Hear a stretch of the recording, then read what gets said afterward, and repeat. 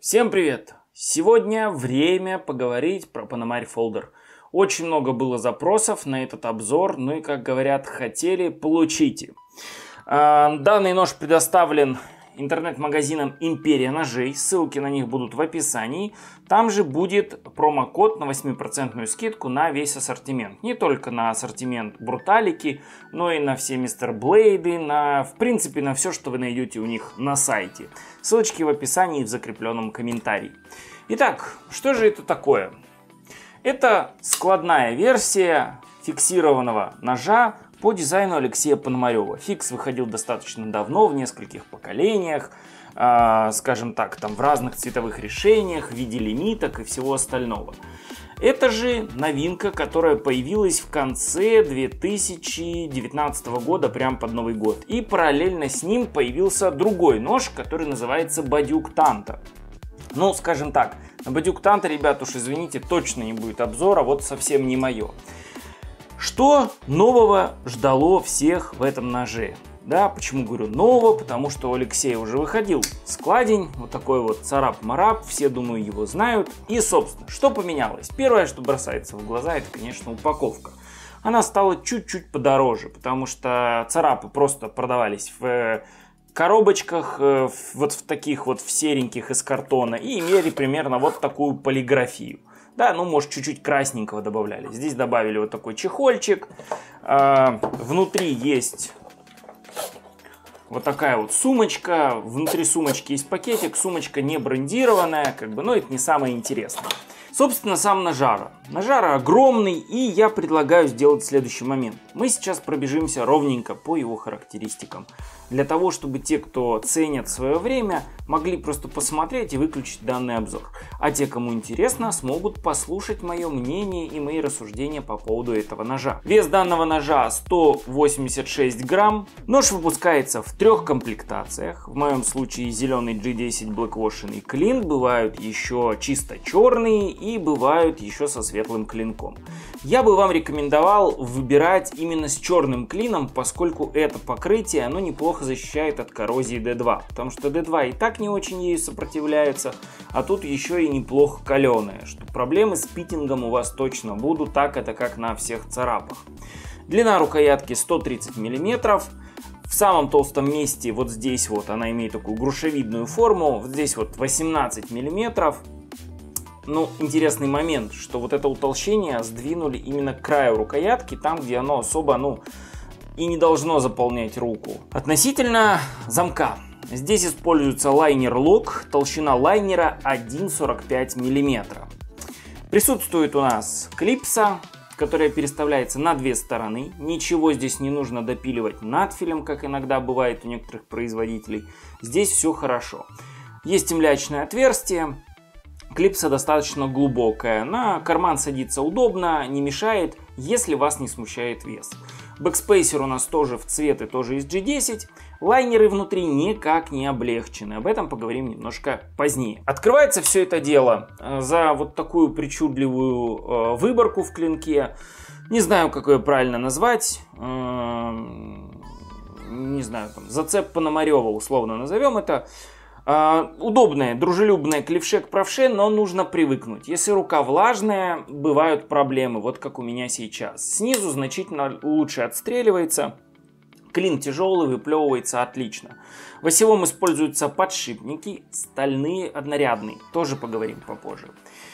Uh, длина клина 107 миллиметров полезных 105, в обухе 3,5, широкий клин, прям реально очень широкий, высокие плоские спуски, там практически от обуха, там от 4 пятых, вот так даже бы я сказал. Сталь D2, заявленная твердость 60-62 единицы. Сведение на моем экземпляре очень неплохое, равномерненькое по 0,4. На сторону не скажу, насколько заточен, просто не знаю. Ну так на вид где-нибудь там до 20 градусов на сторону. Это неплохо. Производится все это чудо на производственных мощностях Винай в Китае под э, контракты Мистер Блейда. Я думаю, что эту историю вы слышали тоже неоднократно. Давайте пока далеко не убежали от характеристик, мы сравним этот нож с другими известными складными ножами, чтобы понимать, насколько он реально большой.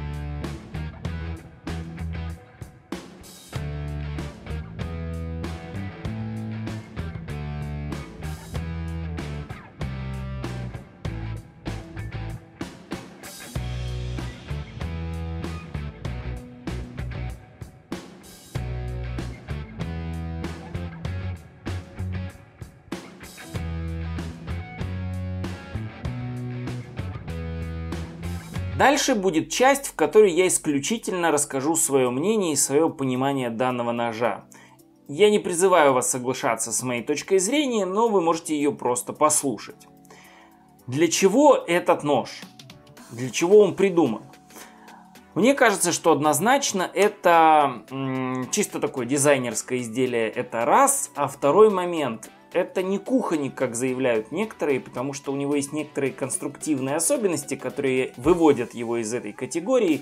Я при разборке обращу на это ваше внимание. Это спортивный снаряд. Все знают, что у Алексея Пономарева есть свое состязание, свой так называемый Fest. И там есть э, чемпионат по резу каната на время. И тот же самый спортсмен, который каждый год ставит эти э, рекорды, который ставил его на царапе, поставил его и на вот таком большом ноже. Это то, как вижу я. Еще мне очень показалось, что данный нож немножко обделили вниманием. Объясню почему. Когда появился на свет вот этот нож, царап, э, шума было значительно больше. Из каждого утюга мы слышали про царап. И тут ленивец услышал царап, царап у входа в пещеру. И когда он встал, чтобы посмотреть, что это, как вы думаете, что он увидел? Сегодня я буду рассказывать про свой первый царап, который, слава богу, уже вышел, и его уже, мать его, можно купить. Было видно, что человек прям с душой к этому отнесся, что он радуется, что вышел его первый складной нож. Он поехал на этом броневике почти как Ленин, с кучей народа. При всем этом он там рубил что-то, резал. Было интересно даже тем, кто его не любит. По этому ножу как-то все очень плавненько и незаметно, на мой взгляд, прошло, и тот же самый Бадюк Танта, который вышел параллельно с ним, ему как-то уделили значительно больше внимания. То ли это реверанс в пользу самого Сергея Николаевича, если я правильно помню имя отчество, да, Бадюка, то ли у Алексея просто не хватило на это время, потому что я знаю, что тест у Алексея вышел значительно позже, чем у некоторых э, блогеров да, на ютубе. И мне это еще тогда показалось странным, потому что ведь нож ведь называется фамилией дизайнера. По идее, ему должны были уделить, ну, просто самое максимальное количество внимания, но почему-то здесь так не произошло. Я предлагаю заглянуть вовнутрь и все-таки посмотреть про те особенности, которые выводят данный нож лично для меня из категории кухонников.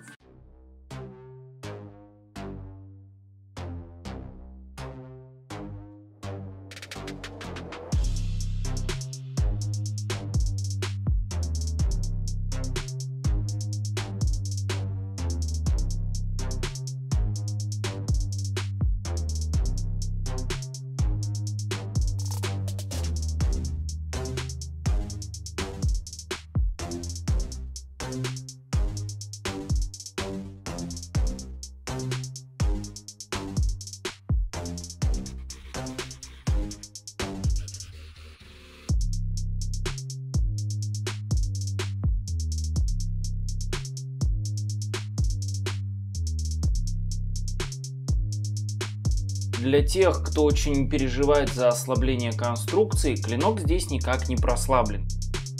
Еще очень сильно понравилось решение по прослаблению лайнера, для того, чтобы его можно было согнуть и использовать в качестве замка.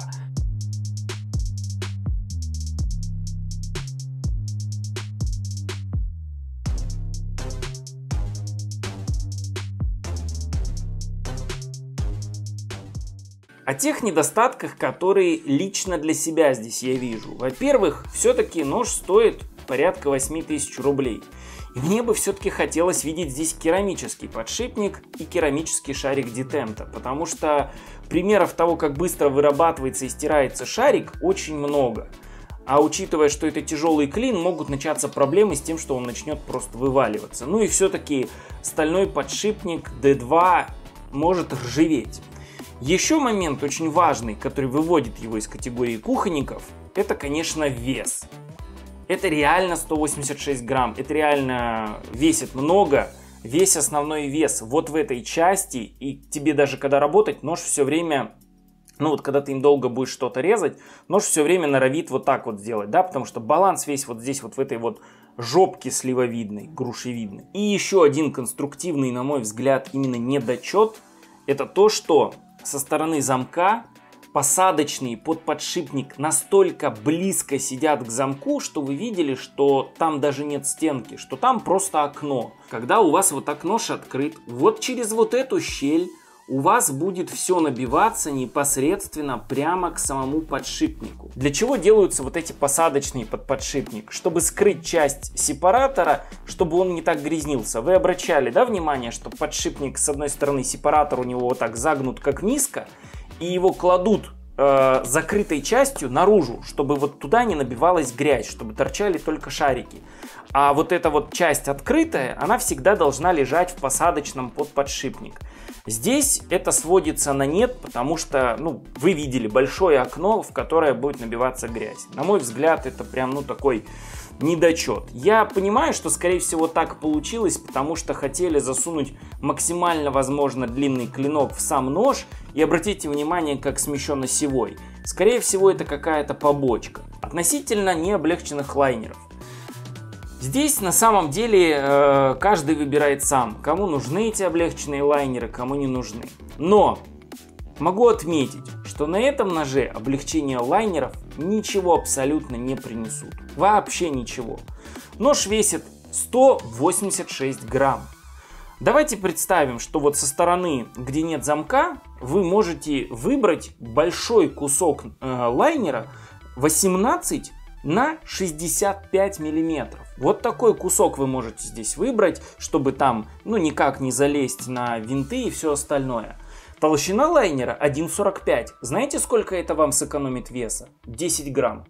Вы можете проверить меня. Зайдите на металлургический калькулятор, вбейте показатели 1,45 толщина, 18 на 65 и выберите сталь ASIS 420. Это то, из чего делаются обычно лайнера. Даже если это будет там какая-нибудь немножко другая сталь, там принципиальной разницы не будет. Это 10 грамм. А со стороны, где есть замок, у вас даже нету этого размера. Вы грамма 4 здесь сэкономите. Сэкономленные 14 грамм веса ну, никак не сыграют при таком весе 186. Это конкретно мы говорим про вот такой нож. Если бы мы с вами говорили про какой-то вот такой вот более легкий нож, типа Рокота, да, где все сделано для того, чтобы он весил мало и он весит в районе соточки, то тут, да, разговора нет. Это есть смысл делать. Здесь даже не знаю, нужно ли было бы оно вообще или нет. Вообще я за выпилы. Но вот так вот. Несмотря на все это, я поработать этим ножом немножко успел, порезать, построгать, и сейчас вам покажу, как это все было.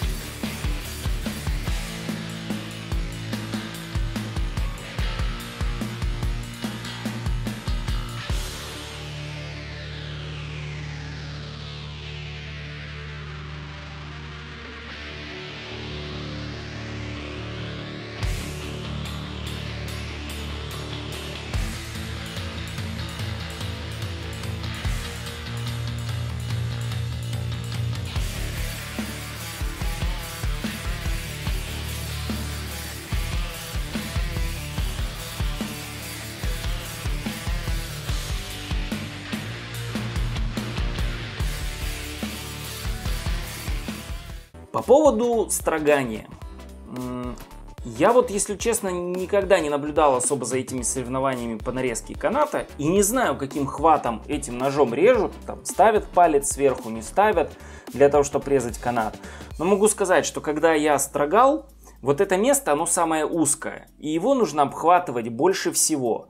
Но появляется немножко такой не очень приятный момент, что когда вот так вот обхватываешь клин, о, рукоять, для того, чтобы строгать, то вот здесь вот часть вот этого плавника, вот этой вот насечки, она просто тебе упирается в руку. И когда появляется вот такое сопротивление, просто, да, ты когда строгаешь, ну, давайте попробую показать. Видите, да? Вот. Это если вы собираетесь им что-то строгать. Поэтому нож, э, безусловно, тотемный. Мне очень нравится это слово, я его подглядел у Семена Еремина.